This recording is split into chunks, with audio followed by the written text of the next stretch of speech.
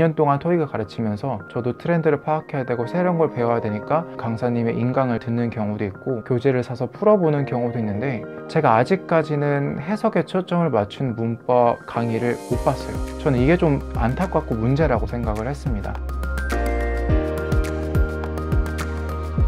토익 독학 길잡이라는 유튜브 채널을 운영하고 있고 공부는 과학이다 라는 공부포 컨설팅 1인 기업을 운영하고 있습니다.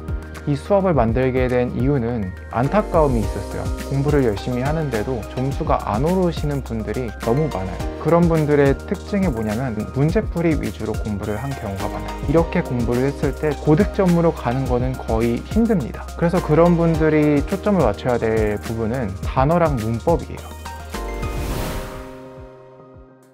1 형식이라는 문장은 주어와 동사만으로 이루어진 그런 문장을 이야기를 해요.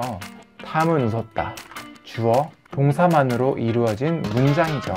자주 출제되는 1 형식 동사 work, expire, react, rise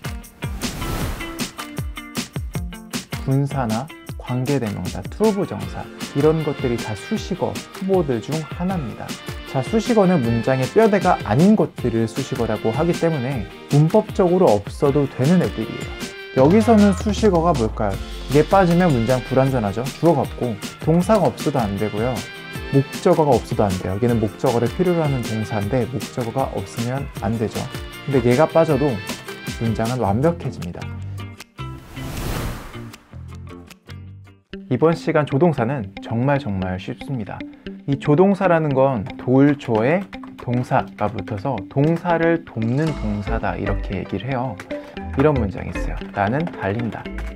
I can run 하면 나는 달릴 수 있다죠. can 자체가 동사의 의미를 풍부하게 만들어줬죠. Can you help me?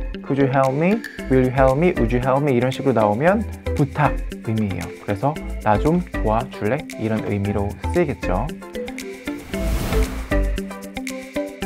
이 동명사가 뭐냐면 이름에서 보면 알 수 있듯이 동사에 ing를 붙여서 명사화된 것이라고 얘기를 합니다. 예를 보겠습니다. 얘가 저녁을 먹다. 근데 여기에다가 ing를 붙이면 동명사가 돼요. 그래서 저녁을 먹다. 동사였던 게 저녁을 먹는 것. 이렇게 동명사가 된 것을 알 수가 있겠습니다. 동명사 앞에 있는 소유격, 목적격은 의미상 주어다. 그래서 해석도 뭐뭐의, 소유격, 목적격 이런 것처럼 해석하면 안 되고요. 주어처럼 해석해야 돼요.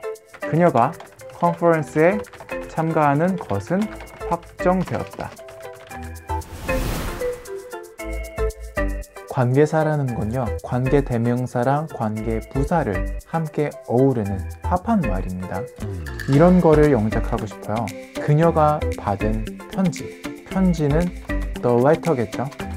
그럼 그녀가 받다 자체는 우리가 만들 수 있죠.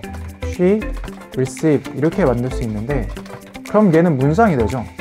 그래서 이 문장의 의미를 명사, 수식, 형용사로 쓰고 싶을 때 이렇게 씁니다.